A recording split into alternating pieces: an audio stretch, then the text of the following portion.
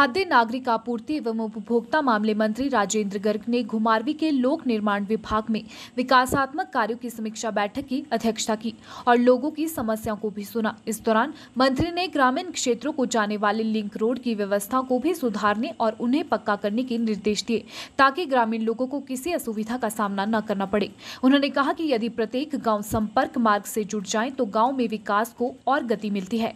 उन्होंने कहा, जो गाँव संपर्क मार्ग से नहीं जुड़े होते हैं, वहाँ पर लोगों को काफ़ी परेशानियों का सामना करना पड़ता है।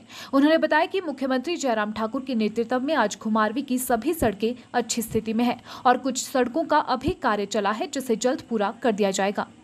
आज यहाँ घुमारवी विधानसभा चुनाव क्षेत्र की विभिन्न सड़कों को ठीक करने के लिए और उनका कामकाज की समीक्षा के लिए आज यहाँ पीडब्ल्यूडी के अधिकारियों के साथ बैठक की। और बैठक में ये तय किया कि जल्दी से जल्दी जो सड़कें हमारी बरसात के कारण ख़राब हुई हैं, उनको रिस्टोर किया जाए। और जो सड़कें हमारी टारिंग से बच गई हैं, उन सड़कों में टारिंग का काम शुरू किया जाए।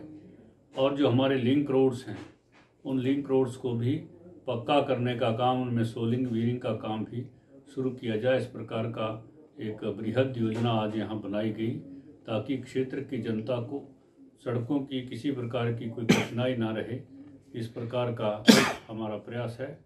आदरणीय मुख्यमंत्री श्री जयराम ठाकुर जी के आशीर्वाद से घुमारवी विधानसभा चुनाव क्षेत्र की सभी सड़कें जो हैं, आज लगभग अच्छी स्थिति में हैं। जिनमें कहीं कोई कमी है, उनमें काम चला हुआ है और जल्दी ही उन सड़कों को भी ठीक कर लिया जाएगा।